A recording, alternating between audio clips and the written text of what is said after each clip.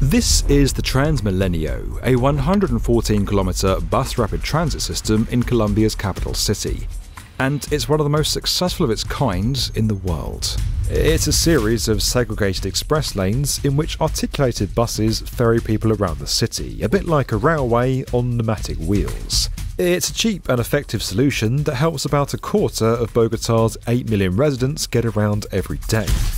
In fact, Colombia has long been a pioneer in innovative public transport systems, and its ideas have spread across the world. But as ingenious as the Transmilenio is, it's actually just a band aid for a problem that's rumbled on for more than 80 years. Bogota literally has the worst traffic in the world. Last year, the average Bogotano lost over 10 days of their life sitting in traffic. That's two more days than just five years ago. But change is coming down the track. This is the Bogota Metro, a 24 kilometre line that'll take over a million people per day out of their cars and put them into fully automated driverless trains high above the city. But getting to this point hasn't been easy or quick. It's taken over 80 years to get here. So the real question is why has it taken so long? And could a spat between Colombia's two most powerful people threaten to derail this project yet again? Close your eyes and think of Colombia. What comes to mind? You're probably thinking about the birthplace of magical realism and its Nobel Prize winning literature, or as the home of the legendary El Dorado, or its incredible biodiversity boasting the biggest variety of birds in the world. What you might not realise is that for decades it's been a global pioneer in using transport to solve some of its most intractable social issues. This is Medellin, Colombia's second biggest city.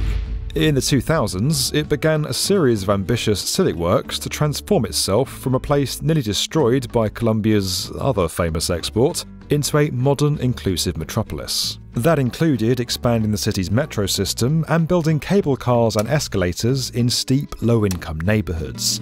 Now, those last two were critical. They were innovative uses of cheap existing technology which helped open the city up to residents living in slums on the steep mountains around the outskirts of the city.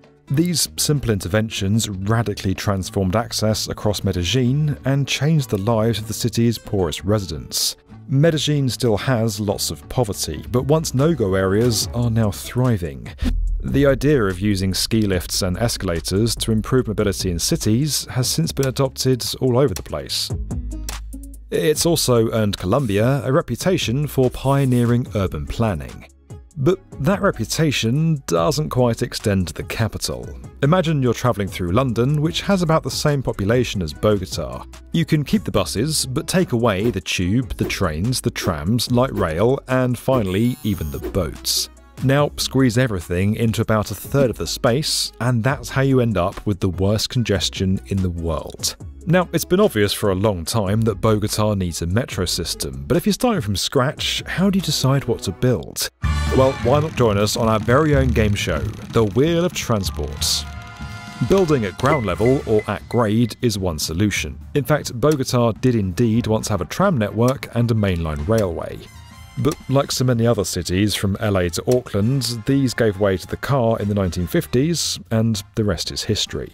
From an engineer's point of view, it's by far the easiest railway to build. Although, if you're planning one in an existing, densely built up city, then there's a slight problem. You're going to have to bulldoze your way through anything that stands in its path. So, if that's not an option, you might want to consider going underground.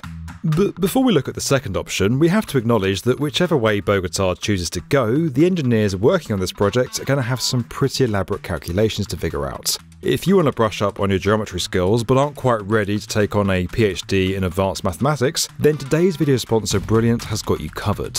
The team at Brilliant know that we learn best through doing, not reading through dense textbooks. That's why they provide thousands of interactive lessons with topics covering mathematics, data analysis, programming, and even AI. Instead of being stuck in a classroom, Brilliant is available on the go, which means that if you're one of the people lucky enough to live somewhere that already has great public transport, or we're looking at you, Hong Kong or Berlin, then you can wrap your head around spatial problem solving from the comfort of the MTR.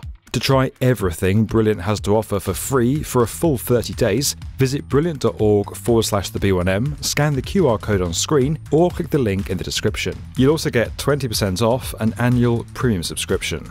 Now, let's get on to option 2. This method does pretty much what it says in the tin dig a big trench, stick your railway in, and then cover it back up. The cut and cover method was used to build the first ever underground railway in London in 1863 and has since been used to build subways everywhere from New York to Tokyo. The benefit is it leaves no long term presence above ground, aside from the station entrances, and it's much less technically challenging than deeper tunnels.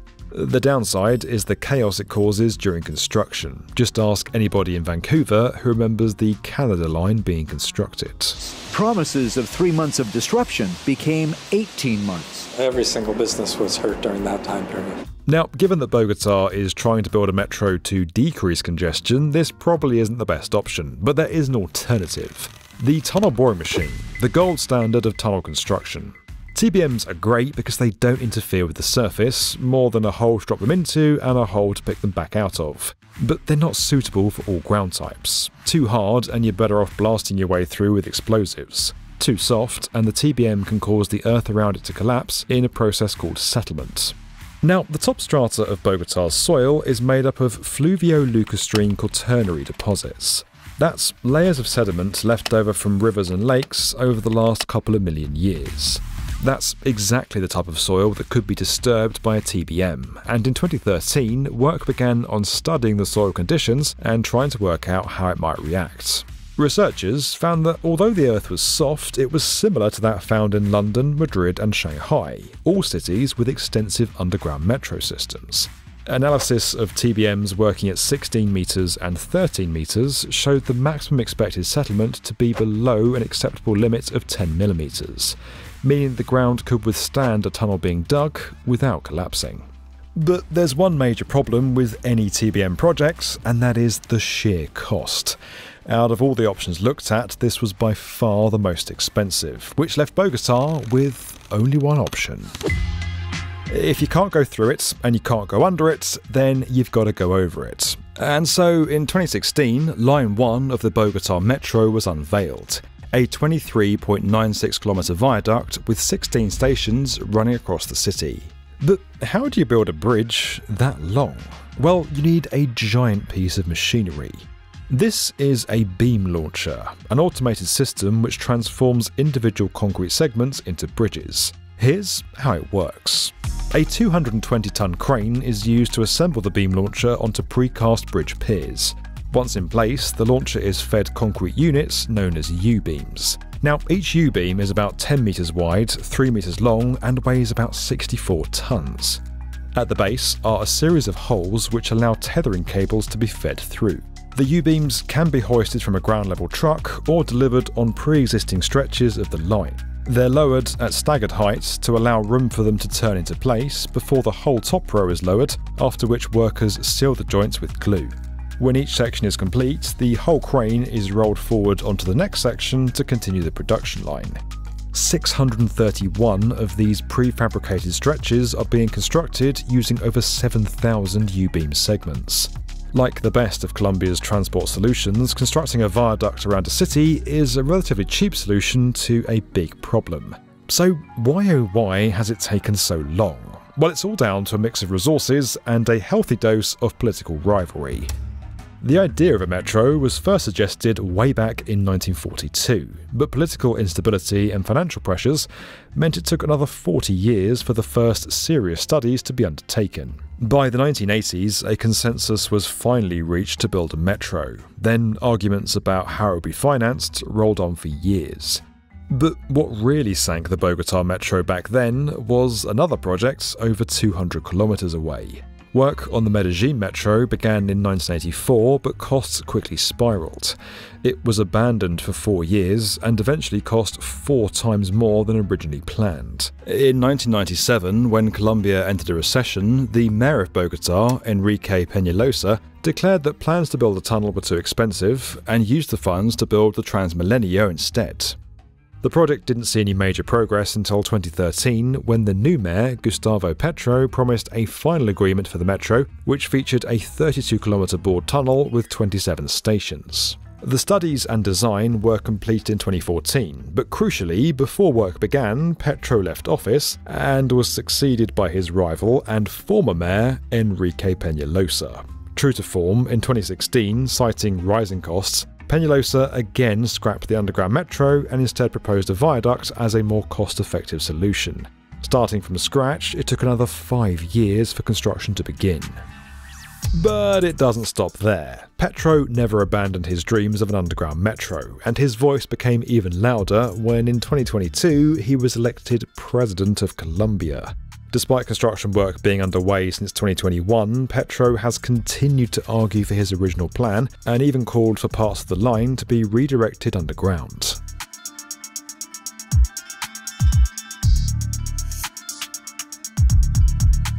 However, with work well underway and on track to complete by 2028, it's extremely unlikely that any changes are going to be made now.